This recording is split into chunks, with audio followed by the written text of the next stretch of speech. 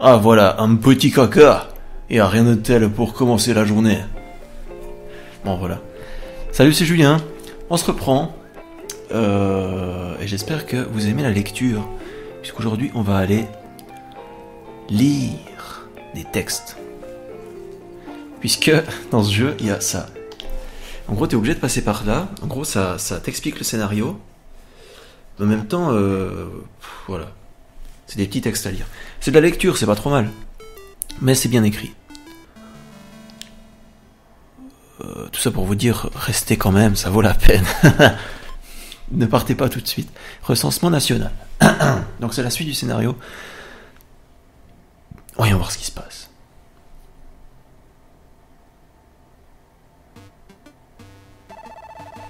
Alors, donc Jeanne, c'est notre chat domestique qui parle. On fait quoi, Travis On se refait un résumé? Ouais, allez. Parce que la première fois, il l'avait fait super long, et depuis, ils disent, euh, on, fait, se fait un résumé. Le résumé de Travis Strikes Back.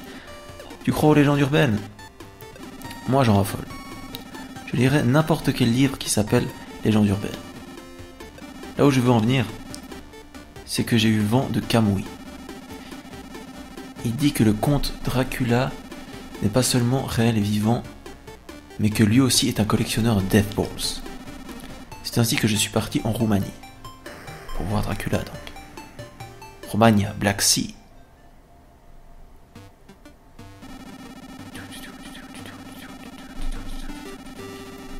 Donc on va en Roumanie. Ne sachant où Dracula se trouve exactement, il m'est impossible de demander à quelqu'un sans être pris pour un dingue. Il est tout autant impossible de le trouver avec le peu d'infos que j'avais. J'erre donc sans but et finis par entrer dans un bar à bière. Un cheval aigri vient me voir. Il me veut quoi, lui? Ses yeux sont tout luisants. Je vois, il sait où se trouve Dracula. Nickel. Je décide ainsi de me fier à lui. Bah, évidemment, quand tu vois un cheval, tout de suite tu te dis il sait où, il sait où ce que je cherche. Son nom est Epona, comme par hasard. C'est le cheval de Zelda, si jamais. Enfin, le cheval dans Zelda, le cheval de Link. En avant, Epona. Mène-moi au château de Dracula, et non pas au château d'Irul, s'il te plaît. Epona me guide à toutes sortes de vieux manoirs, mais on n'y trouve que dalle. Finalement, je décide de demander à un voyant. Bien soit. C'est un endroit bien chelou. Il dégage l'aura la plus forte de tout le gang de voyants des magasins au sous-sol. Un grand type avec des cheveux longs, hein. Il est gigantesque. Il doit au moins faire 2 mètres. Et son nom, Sundance. Un nom bien chelou, encore une fois. Sundance prend une tasse de café et le renverse sur une feuille de papier. La tache de café s'étale alors sur la feuille. Sundance examine la tache. Mais attendez, Sundance, c'est le voyant, ok, ouais, ouais. Sundance. Le château de Balbonia. C'est là, que le comte devrait se trouver. J'enfourche Epona avec Jeanne et nous nous dirigeons vers le château. Epona et Jeanne ne semblent pas super copines, elles se chamaillent tout le long, tout du long. Bref, alors qu'on arrive enfin à destination, Jeanne s'est enfuie à l'intérieur de ce château sinistre, tout droit tiré d'un film d'horreur. Du coup, je pars à sa poursuite. Cet endroit a tout d'un château hanté. Ils auraient pu faire simple, genre on a trouvé la boule au bord de la route, puis on se casse, mais non. On va voir Dracula en Roumanie. bon bref. Cet endroit a tout l'air d'un château hanté. Puis-je voir Jeanne s'aventurer dans un grand hall? Non, puis je vois Jeanne s'aventurer dans un grand hall? Qu'est-ce quel casse-couille vraiment? C'est là qu'il entra en scène. Le comte Dracula allongé par terre. Seulement un truc tourne par rond. Un type avec un katana essaye de décapiter le comte. Un mec dangereux. Je peux pas me laisser faucher ma cible comme ça. Mais le type a l'air aussi déterminé que moi. Il me fonce dessus. Ça s'échauffe. Allez, viens. Mais à ce moment-là, il tranche la tête du comte d'un seul coup. Il plonge la main dans la tête du comte et en retire une Death Ball. Oh et il me la lance. C'est ça que tu cherches, non? J'ai pas affaire avec toi. Prends-la, ferme-la et casse-toi. Si tu pars maintenant, je te laisserai la vie sauve. Je suis Mando Zappa. Je fais partie du Bureau fédéral d'assassinat mimétique. Ce doppelganger était une imitation extrêmement bien fabriquée. Le vrai est encore dans ce monde, quelque part. Le débusquer est notre travail. Dracula était devenu capable de tolérer la, lumière après avoir fait compromis avec la faucheuse. Il est devenu doppelganger et vit maintenant au grand jour. Voilà tout, aucune question permise. Mon travail ici est terminé. Le vrai doppelganger m'attend. Il semblerait qu'il soit en Amérique du Sud, Amérique centrale. Quoi qu'il en soit, je vous dis adieu. Travis Touchdown. Il a fait son monologue et s'est barré comme ça. Mondo. Il est plutôt doué. Alors comme ça, il en reste encore de ce calibre. Enfin, peu importe. J'ai trouvé ce que je cherchais. Je vais l'apporter à Bishop pour qu'il y jette un œil. Ou sinon tu le ramènes à la maison et puis on joue, non? Allons-y, Jeanne, c'est parti. ne te fais pas capturer. Je n'ai pas d'horizon.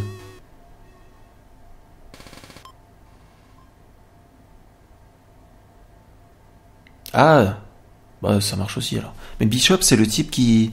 au magasin de jouets, non? Mais pourquoi on a besoin de lui apporter à lui? Je ne sais pas trop. Et ben voilà. C'est plus court que... C'est plus court que d'habitude. Euh, du coup, voilà, c'est pas plus mal. Ça compense un peu les vidéos de 1h50, 1h40. Donc finalement, voilà. Du coup, on va pouvoir les lire, ce qui nous attend pour le prochain jeu. Comme ça, on sera un peu au courant de ce qui se passe, tu vois. Et pas trop déboussolé. Euh... C'est là. Golden Dragon GP. Donc ça, c'est notre prochain jeu. Et... On doit aussi ça en photo. Parce que la dernière fois, j'ai oublié de faire ça. C'est pas très important, honnêtement. Parce que soit ça te restaure de la vie, soit ça te. Soit ça te donne des, quelques pièces en plus. Mais. Euh, ça compte dans les, dans les pourcentages de complétion du niveau. Voyez, là j'ai les 4, donc c'est bon. Euh, mais voilà. Donc c'est un peu embêtant. Alors, Golden Dragon, Golden Dragon GP, qui survivra à la course et que restera-t-il des vainqueurs? Mais qu'est-ce qu'un affichage vectoriel? C'est une méthode d'affichage graphique pour les jeux vidéo dans les années 1970 et 80, même s'il n'est pas possible de dessiner que des points et des lignes, son esthétique unique et nostalgique transcend le temps et hante encore nos cœurs et nos esprits d'aujourd'hui. Des courses en ligne droite où la mort t'attend au tournant, la vitesse te rendra fou. Une course de voiture mortelle, une ligne droite de 4 km avec des rebondissements choquants. Personne n'a jamais vu un jeu de course aussi exaltant. Ok. Le coureur, un ancien Sumotori masqué avec des pointes à 800 km/h. À 800, empare-toi du volant et les gaz et deviens invincible. Ok. Prends le contrôle de votre engin monstrueux et domine la GD GP. Prenez le contrôle plutôt. Alors, au euh, 22e siècle, l'industrie automobile japonaise domine la scène de la Formule 1. oui, oui, c'est ça. c'est un jeu japonais si jamais. Il se la pète un peu. Le monde entier en est agacé et les règles ont évolué. Le Japon s'étant mis le monde à dos, ses chances de victoire sont très minces. Malgré cela, nous, les fifous japonais, que nous sommes, avons décidé, pour faire honneur à notre esprit kamikaze, de dire non à la F1 et de devenir indépendants. En conséquence, nous lançons un nouveau genre de course à grande vitesse avec des combats ultra courts et quelques morts F0. C'est exactement ça le scénario de, le scénario de F0, donc euh, voilà. Le Golden Dragon Grand Prix. Mais ça ne s'arrête pas là. Cette course ne se déroule pas ici-bas sur l'asphalte, mais en haut sur les nuages. Ce sport super extrême qui dure moins d'une minute accumule rapidement ses fans et est en passe de devenir la dernière mode. Des concurrents sont prêts à défiler à défier la mort, se réunissent. Des concurrents prêts à défier la mort se réunissent depuis les quatre coins du globe. Et avec les, les pairs qui se généralisent, divers syndicats internationaux du crime sont aussi impliqués.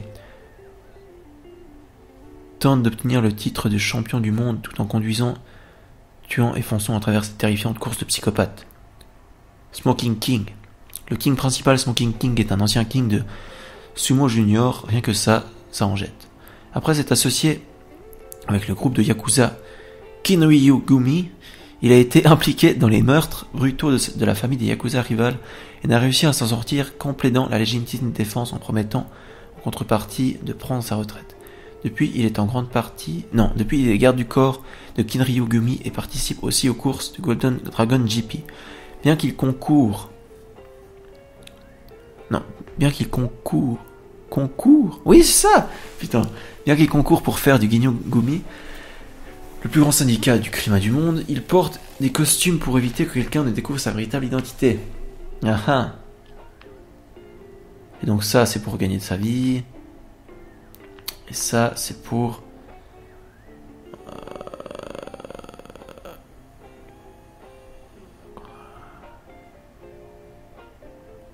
Ok. Et ça devient invincible en appuyant sur les deux boutons de la souris en même temps. Il est temps de te révéler une astuce de génie. Une fois que tu seras rendu à l'endroit de la photo, clique sur les deux boutons de la souris de la Death Drive. Sauf que j'ai une manette dans les mains, moi. Et maintiens-les enfoncés pendant 20 minutes. Pour que Travis s'illumine comme un arc-en-ciel. Et ce n'est pas tout, il devient aussi invincible. Cependant, une fois que tu auras quitté le jeu, son invincibilité prendra fin, alors joue aussi longtemps que possible pour l'exploiter au maximum. C'est du foutage de gueule. Ok, on y est. Bon voilà, vous savez ce qui nous attend la prochaine fois. Et ce qu'on va voir, pour aller voir... Là j'ai toujours l'impression qu'il y a un truc, mais en fait il n'y a rien. Euh, on pourrait aller voir si par hasard il y a des nouveaux t-shirts qui sont mis en ligne, mais je ne crois pas.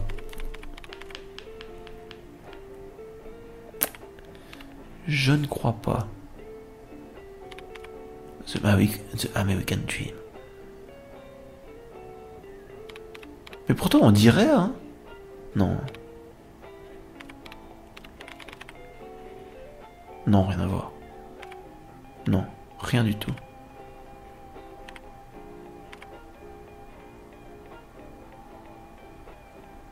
Rien du tout. Donc voilà. Bon, on va se quitter là, hein, parce que je, je, je, je, coupe les vidéos entre scénario et et et, et, et jeu. Il y a Batman qui s'est endormi, mais de façon bizarre parce que ouais voilà, il s'est endormi sur le dessus. Et c'est un peu grand comme sac de couchage, non? Maintenant que je je regarderai un peu. Enfin, je sais pas, moi quand je dors dans un sac de couchage, mes pieds ils touchent le bout à chaque fois. Genre là, il fait facilement le double de sa taille. Ou alors Batman est super petit. Non, j'en sais rien. Bon, bref, dans tous les cas, on va s'arrêter là. Euh, bah, je vais aller sauvegarder, tant qu'à faire. Mais je crois qu'il avait déjà sauvegardé avant, non? Non, je sais plus. Euh...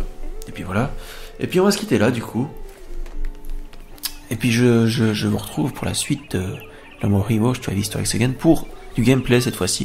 Du gameplay avec de la course futuriste, comme ce- le nom de, de, cette, euh, de ce document nous l'a fait gentiment suggérer. Alors voilà. Attends. Alors voilà. On va s'arrêter là. C'était Julien. Je vous dis salut et à la prochaine. Ciao.